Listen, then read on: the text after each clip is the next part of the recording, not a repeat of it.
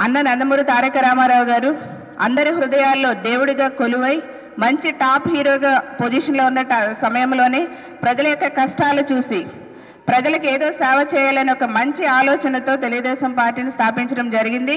కూడు గూడు గుడ్డ నిర్ ఇవ్వాలనే ఉద్దేశంతో రెండు రూపాయలకి కిలో బియ్యం ఇచ్చారు. చేనేత వాళ్ళని ఆదుకోవాలనే ఉద్దేశంతో జనతా వస్త్రాలని అందించారు. పూరిళ్ళలో ఉన్నటువంటి ప్రజలకి పక్కా ఇల్లు కట్టించినటువంటి ఘనత అన్న ఎన్టీ రామారావు గారిది. సమాజమే దేవాలయం ప్రజలే దేవుళ్ళు అనే నినాదంతో తెలుగుదేశం పార్టీని ఆనాడు స్థాపించారు. మరి అంతేకాకుండా మహిళలకి సమాన హక్కు కల్పించి దేశం మొత్తం కూడా ఆంధ్ర వైపు చూసేలా చేశారు. మహిళలు తల ఎత్తుకొని ఆత్మవిశ్వాసంతో ముందుకు వెళ్ళేలా చేసినటువంటి ఘనత అన్న ఎన్టీ రామారావు గారు ఆనాడు. మరి అప్పటి నుంచి కూడా పేదలకి ప్రతి నెల కూడా పెన్షన్ ఇవ్వాలి ఎంతో కొంత అని ఆనాడే ముప్పై రూపాయలతో మొదలుపెట్టినటువంటి వ్యక్తి ఎన్టీ రామారావు గారు తెలుగుదేశం పార్టీ. మరి అప్పటి నుంచి ప్రజలకు సేవ చేయటం ప్రజలకు కష్టాలు తీర్చడం తెలుగుదేశం పార్టీతోనే మొదలైంది.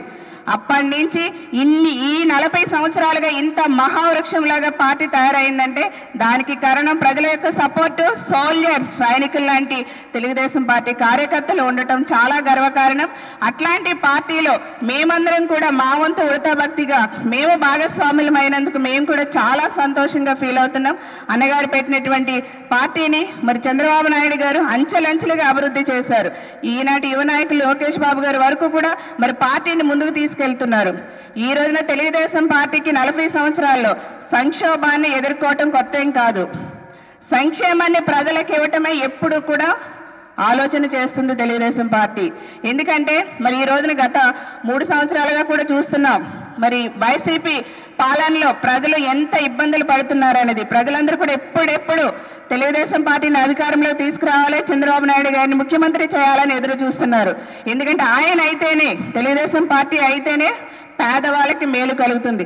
డెఫినెట్గా ఇదే కష్టంతో ఇదే కసితో ఇదే ఉత్సాహంతో ఏ ఏనాడైతే అన్నగారు పసుపు రంగును సూచించారో ఆ పసుపు రంగు చూస్తేనే మనందరికీ ఒక ఉత్సాహం వస్తుంది ఒక ధైర్యం వస్తుంది ఒక తెగింపు వస్తుంది ఒక కష్టం గుర్తొస్తుంది.